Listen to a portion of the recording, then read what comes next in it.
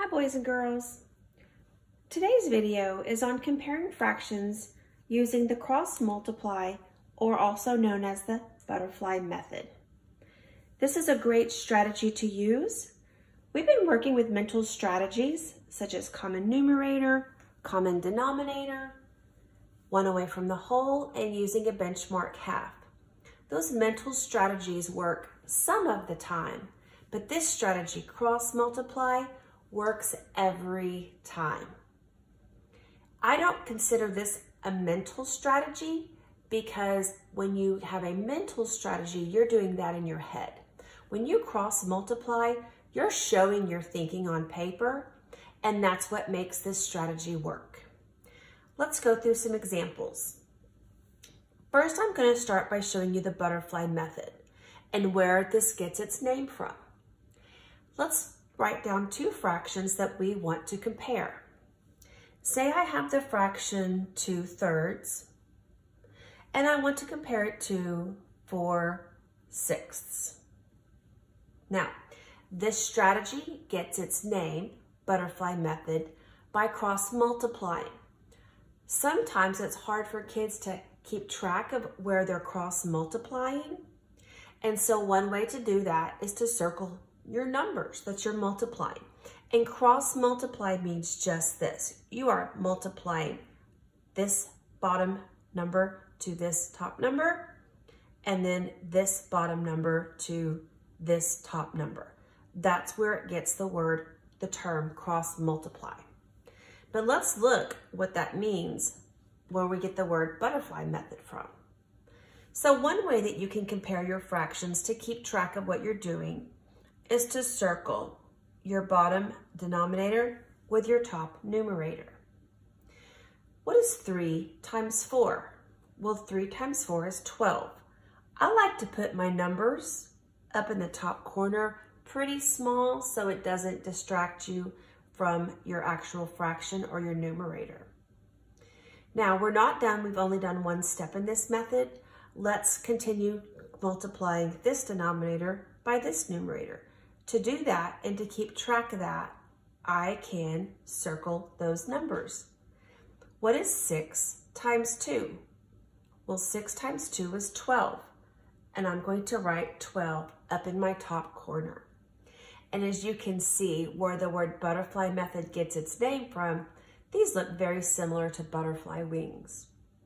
Now to finish out this strategy and to finish working out this problem, I have two numbers that I've multiplied. I have a 12 and I have a 12. Well, I can compare those, but neither number is greater than the other. They're the same. So in this case, this would be an equivalent fraction. Now, I like students to use the butterfly method until they don't need it anymore. And I always tell my students that when I teach you a strategy, use it until you know you don't need it anymore. It can get a little messy with all of those cross circlings. It can get messy. I've seen kids cover numbers accidentally, so you have to be very careful with it. I like to cross multiply without the butterfly wings because I think it's much neater and it goes much faster. Let's do some examples. Say I have the fraction 3 eighths and I want to compare it to 2 fifths. Let's cross multiply. To cross multiply, I'm going to multiply my bottom denominator by my top numerator. 8 times 2 well, I know 8 times 2 gets me 16. I like to put a tiny 16 up in that corner. 5 times 3, denominator times numerator. 5 times 3 is 15. I like to put that in the top corner, very small, small as I can. Now I've got two numbers. I've got a 15 and a 16. Well, what is greater, 15 or 16? Clearly 16 is more than 15. So when 16 is more, that means 2 fifths is greater. That means 2 fifths would get two dots. 3 eighths would get one dot, and you're going to connect your dots.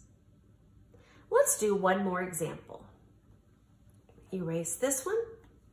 let's write down two more fractions that we want to compare. I have a fraction, 4 tenths, and I want to compare it to the fraction 3 sixths. I want to cross multiply, so I'm going to multiply my denominator times my numerator. 10 times 3, that would be 30. 6 times 4, that would be 24. 24 and 30, what is greater, 24 or 30? Clearly 30 is much more than 24, which means 3 sixths is greater. So 3 sixths gets two dots, 4 tenths gets one dot, and I'm going to connect my dots. 4 tenths is less than 3 sixths. I hope you liked our video on the cross multiplied method for comparing fractions. I like to tell my class that this strategy works every single time. This strategy is your proof.